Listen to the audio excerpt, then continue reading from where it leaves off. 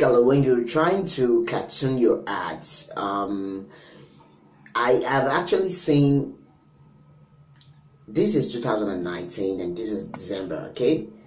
I can still say that basically the, the most common animation apps that you can actually use for your cartoons and your animation. I would see them as two sets okay? One set are those ones that you can actually use on your desktop preferably okay you're going to pay for these apps this set of apps and then some of them are Toonly, Doodly, your Biteable.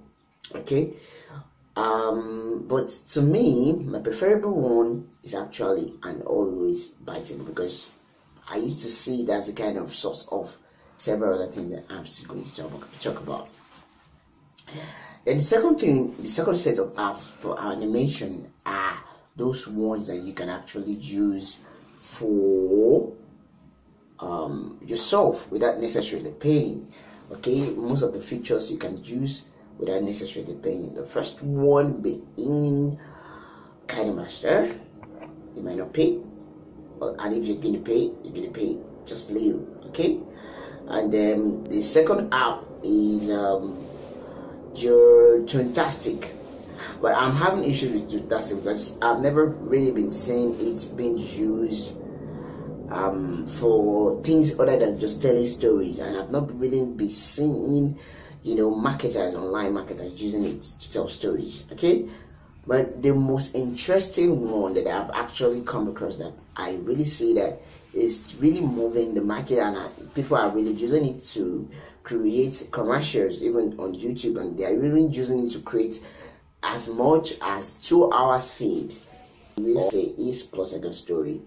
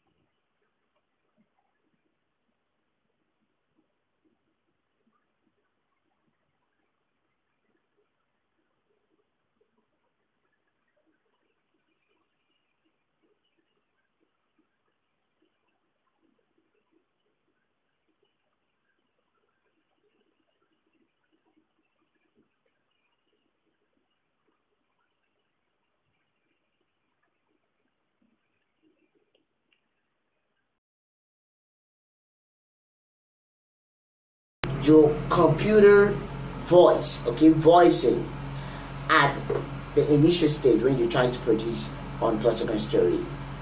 Okay, and um, when you get back to the KineMaster, you can always lip sync most of your readings of your characters. Okay, lip sync them like you can do it on even KineMaster. Hmm? Lip sync them and um, make it a kind of language that your audience can relate with